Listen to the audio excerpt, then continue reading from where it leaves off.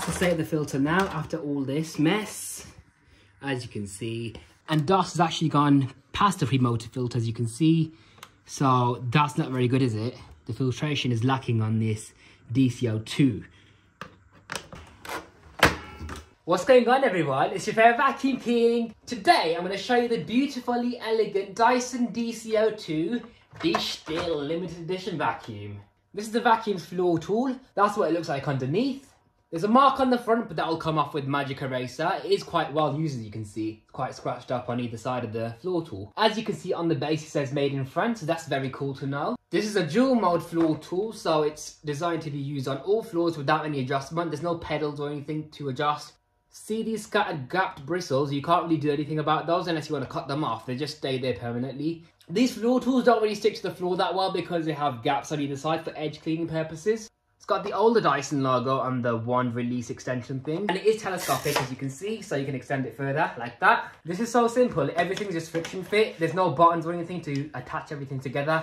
So you just pull it off like a Henry or normal cylinder. Here's a banana handle. You got a swivel point right there, so it just spins around, and same on the hose cuff end as well. Press these two buttons on either side of the hose cuff, and then the hose can be removed like so for blockage inspection. And this little trigger on the bottom is your suction release valve. It's a bit stiff, but yeah, there's a helpline sticker as well, which is also expired. It's the same one as on my DC01 De Stijl. And here's the vacuum unit itself. As you can see, there's a Dyson logo with dual cyclone technology as a logo. It looks quite retro, doesn't it? I like that. There's a sticker on the cyclone showing you why bags are ineffective compared to dual cyclone technology, but obviously paper bags back then were ineffective, weren't they? This looks quite 90s as well. It reminds me of vintage Miele's where the hose swivels on the machine end like that at an angle. These machines were huge, you know. They're the hugest Dyson cylinder ever made. If I was to put this in front of a DC07 for context, you can see how massive it is. That's huge. Look at the size of that. Yeah, that's how big they are. And if I take the Cyclone off this DC07, look at the size comparison. They're huge. And that's how tall it is, up to there. There's a Dyson logo again with the DC02 branding along with the De Stijl branding, saying it's limited edition. There's your power switch on the side, and on the other side, opposite to that, you've got the cable rewind. But to be honest, I don't need to use that because there's a plug, by the way. I feel like most DC02s these days, they have a problem where the cable rewinds in by itself. And if you press this yellow button on the back, you've got access to all your tools. So here's a little tiny crevice tool. It's got the older Dyson logo on it for some reason the brush, which also has the older Dyson logo on it for some reason, and it has a twistable neck like so. And also your stair tool with the Dyson logo from the 90s as well, and that's exactly the same as the DCR-1 stair tool.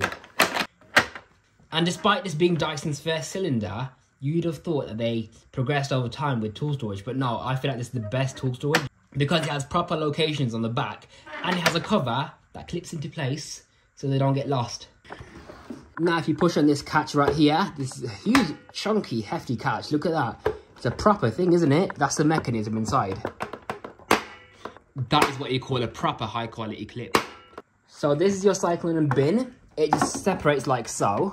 You got your big, huge cyclone there with the shroud, and this is your huge bin as well. So you can just empty out like a jug. The bottom chamber here is where the fine dirt gets collected. So when the dirt enters the shroud, this red part right here where all the holes are, the dust in the air spins around in the cyclone and all the fine dirt exits the bottom of the cone right here and it gets collected in that middle chamber right there. And it's nice to see on these older Dysons how much fine dirt you pick up because on the new Dysons you have to really slowly open the bin flap in order to see. But with these, you can see very easily how much fine dirt you pick up.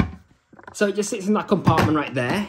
You've got two little bleed valves as well for when there's anything helplessly attached to the vacuum. This is the power switch. That's the actual power switch because the main one is just a dummy thing. It's just a plastic thing that pushes a arm down, as you can see. And that arm right there pushes the actual switch down. So this is your pre-motor filter. Again, I love how it's color-coded to match the vacuum. That's where the air exits the cyclone, by the way. And it goes down this tube, out through here, down here, into the pre-motor filter, and that's where everything's captured. And then through these vents right here, you got the motor, inside this compartment. And then finally, you've got the post motor filter, which slides out. It's the HEPA filter, and that's meant to be replaced every 12 months, as you can see. And it's got a bacteria killing screen as well, so it kills germs on contact. I don't know why Dyson stopped doing these amazing features. Antibacterial filters. Surely that's a good thing, do you know what I mean?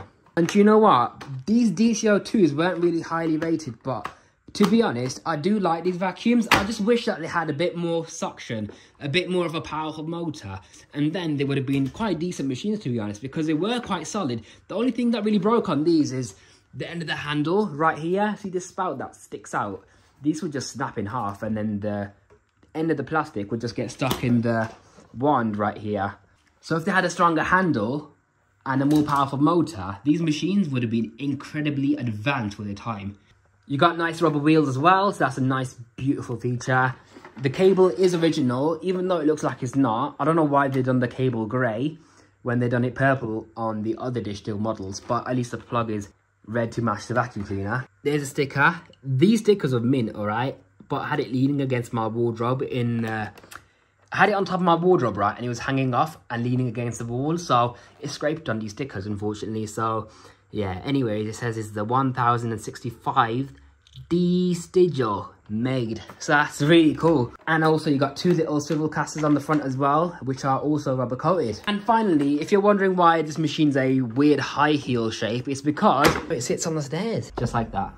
See how it hugs the stairs? That's exactly how it stays on the stairs. The hose is also removable from the machine end, as you can see. And some DC02s also had a sticker on here saying, say goodbye to the bag. And finally, on the one, there's a feature where you have two little clips on two little brackets that stick out.